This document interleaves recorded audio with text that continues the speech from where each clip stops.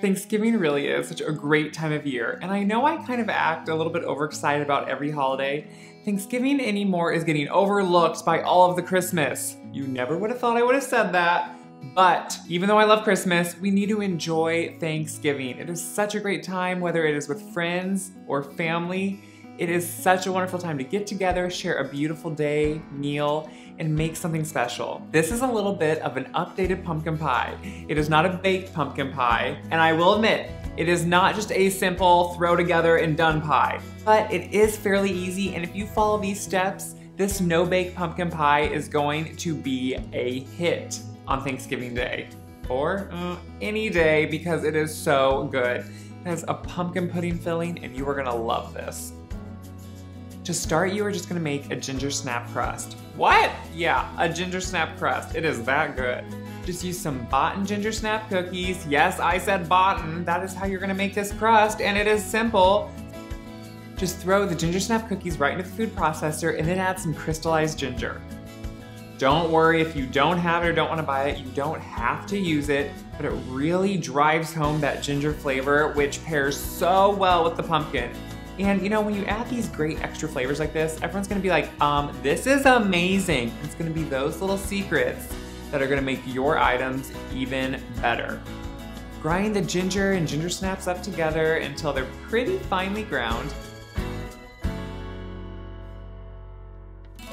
And then you just wanna add in some sugar. I know it seems like the ginger snaps themselves are already sweet enough, but the sugar you need when you make a crust. It melts in the oven and then rehardens to make that good crisp crust. Process the sugar in and then just add some melted butter. Once the melted butter is mixed in, you can just put all of that right into a springform pan. I'm using a springform pan for this because it kind of gives the idea of a tart shell, but you don't have to have a tart pan and it comes out super easy once it's done. So just press them into a bottom of a 9 inch springform pan and go up the sides quite a ways, a little bit taller than a normal pie crust. You can just use your hand to evenly do it and then finish it off with the bottom of a measuring cup or just a regular glass so you get a good firm packed bottom in it. Once it's ready to go, just place into your preheated oven, let it bake until it's golden brown and just beginning to be fragrant, then pull it out and let it cool. If the edges begin to slump a little bit while it's in the oven or right when you bring it out, don't fret. Once you pull it out, just use the back of a spoon in your hand and just kind of press it down again and press it up the side. It will still be soft and you'll be able to fix it. Then once it cools, it will be perfect. And you're filling it, so who's gonna see the inside of the crust anyway? Set that aside to cool and then you can make this amazing pumpkin pie filling that is like a pudding and literally I can just eat it with a spoon. I have. I have eaten it with a spoon. Before we start anything, I really like to get some of the moisture out of the pumpkin that we're gonna use. I know it sounds odd because you're never gonna do this, but it makes a huge difference because there's a lot of moisture and water in pumpkin. So if you just lay out some paper towels on a sheet pan and then put the pumpkin that we're gonna use right on it and spread it out,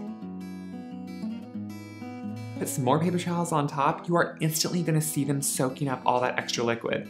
And what that is gonna help is us not to have a really runny filling pudding later on in this pie, and it's gonna make sure that it is really good and not kind of watery. So this is an important step, and I know it seems odd, but it makes a difference. So just put those on it and then set it aside. To start with this, you just wanna separate your eggs. You, at this point, just need the egg yolks, so just separate your eggs and put the yolks right into a bowl. Once your egg yolks are ready, you just wanna quick get your gelatin to bloom. Okay, I don't know if you've used gelatin before, but it's kind of a magical ingredient. It makes things set up into an amazing custard form and it takes no baking and all you need to do is let it bloom, which means putting the powdered gelatin in a liquid so it slowly becomes a gel in that liquid. So just take a little bit of milk and then sprinkle a package of gelatin right over the top and then set that aside and let it go together. That's all you need to do at this point. Next, you just wanna put some whole milk and some heavy cream into a saucepan. I know, it sounds very rich. It is really rich. And that is important. It is Thanksgiving. This is a pie. You want to enjoy it? Let's go all the way. These rich flavors really are important. They make the outcome so much better. And then just a little bit of salt. After your milk and cream, you just want to add some dark brown sugar. Some of it goes with the milk and cream, and then some of it we're going to put in the egg yolk. So just put a little bit of dark brown sugar in with that milk, and then stir that together, and then set it on the stove over medium to medium high heat. You just want the milk to start steaming before you use it. As the milk is coming up to temperature, you can just beat your egg yolks to break them up, and then add the rest of the dark brown sugar. After the brown sugar, then just add some cornstarch to those egg yolks and whisk it all together until it's completely combined. Yes, we are using both cornstarch and gelatin. This is just gonna make sure you have a really thick and well set up end result, which is important. When your milk is starting to steam, you just wanna temper your egg yolks. We've talked about this before. This just means slowly bring those egg yolks up to the temperature of the milk without dumping it all in and just making scrambled egg yolks. So slowly ladle in some of that steaming milk, whisking constantly. And then once you have a few ladlefuls in there, just dump it back into the hot milk and then stir it until it becomes really thick. This is really only gonna take about a minute once it's back on the heat. It's gonna activate all that cornstarch and the egg yolks and thicken up into a beautiful pudding. As you can see, you can just run your finger down the back of a wooden spoon and you can tell it is a pudding. Remove it from the heat and right away you just want to strain it right into the bowl of a food processor. You don't have to do this in a food processor, but it really helps everything mix together much more easily and ensures that there are no lumps.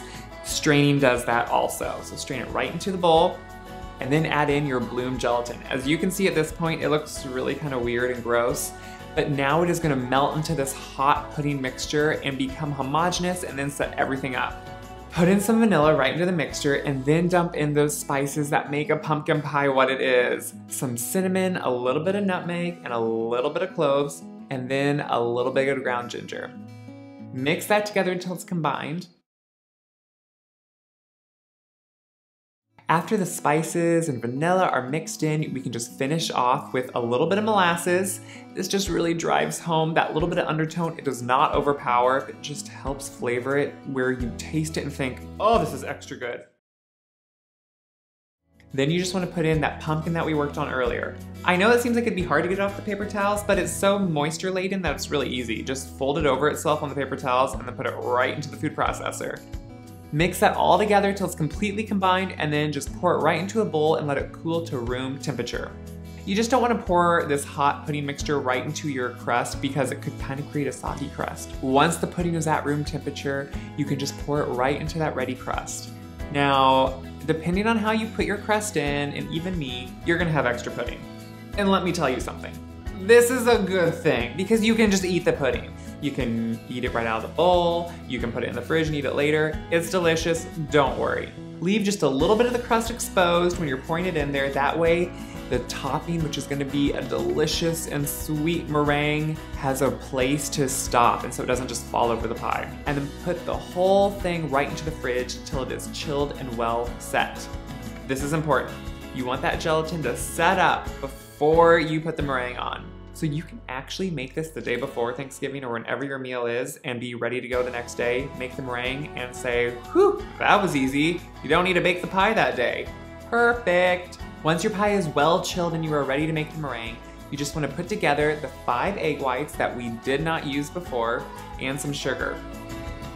Put them right into the bowl of a stand mixer and then put that over a little bit of water bath or a little bit of simmering water on the stove and then whisk it until all the sugar is melted and it registers about 160 degrees on a thermometer. That just means that all the sugar is going to be completely melted and you are ready to mix. Put it right onto your stand mixer and then whip it until it is meringue and cooled to room temperature. This can take anywhere from 3 to 10 minutes depending on what type of mixer you have. As that meringue is whipping up, just put in a little bit of vanilla. It just flavors it a little bit and let it keep whipping until it's at room temperature. Once the meringue is ready to go, just take your pie right out of that springform pan. See, that is why a springform is wonderful. It is so easy to take off. Once you take out that springform pan, just put that meringue on however you want it. I'm just dolloping mine because it is beautiful, just rustic. So put it on, and then just to brulee the top slightly and brown it and dry it out just a little bit, put it right into a preheated oven and let it just brown up. Then you are ready to go.